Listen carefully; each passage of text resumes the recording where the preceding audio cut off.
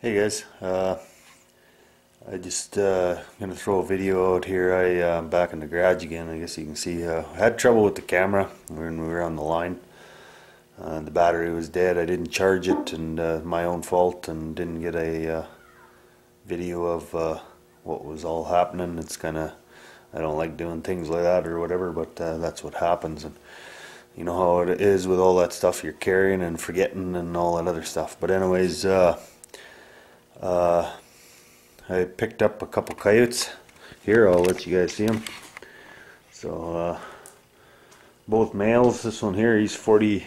I guess I should stand back a little. He's about 45 pounds. He's a big one. They're starting now. I was talking about the rut. They're uh, they're getting close and they're running the running them trails really hard. And uh, you can see from the big mature ones color difference He's a beautiful furred animal, and he's uh, actually he's nice in the hackles here. He's really deep, eh? And uh, then you come to, uh, I would say this is here is a couple year old, and how much shinier and looking they are, and uh, a little bit of red crotch on them, not too bad. But you come to these big males, and uh, there's a lot of red crotch on them, eh? So, but beautiful furred. Oh man, he's gorgeous, gorgeous uh, male coyote. And uh, but anyways, I want to tell you guys kind of uh, what the uh, what it is. I was mentioning to you guys about uh, my buddy there coming on the trap line with me, and he's experienced with coyotes. That's one of his main things. He's got 20 some baits out. He's got over 200 power rams.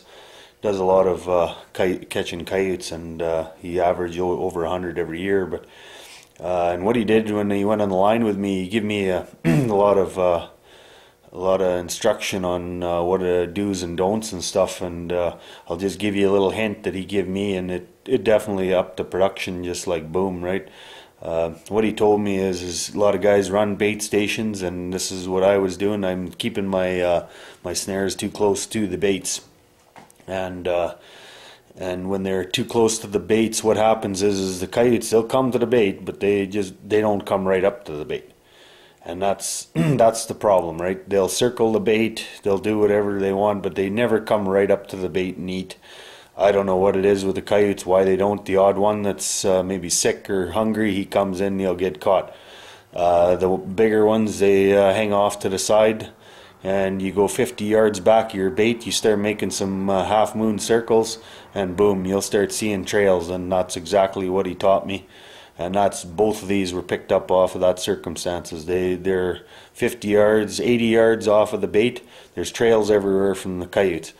So uh, so that's what we did. I uh, we went out uh, like that big male. He was caught just behind uh, the house, and uh, uh, up on my bait station behind my yard, and and he, you know he that was the first place we went and he says look at here here's here's a trail and and bingo there's uh that's where we put down a power ram and and there you go there's a coyote right? So uh, just shows you experience and how it can go. But I thought I'd show that share that tip with you guys and and stuff. So uh, and uh, you know for uh, you know guys that uh, the bait stations play out after a while go 50 yards back, go 80 yards back, and all of a sudden you'll start seeing trails again, and lo and behold, there's the coyotes. So, anyways, uh, thanks for watching, guys, again. And uh, I uh, one other thing I wanted to mention was uh, uh, it's uh, Sask Hunting, not Sask Hunter.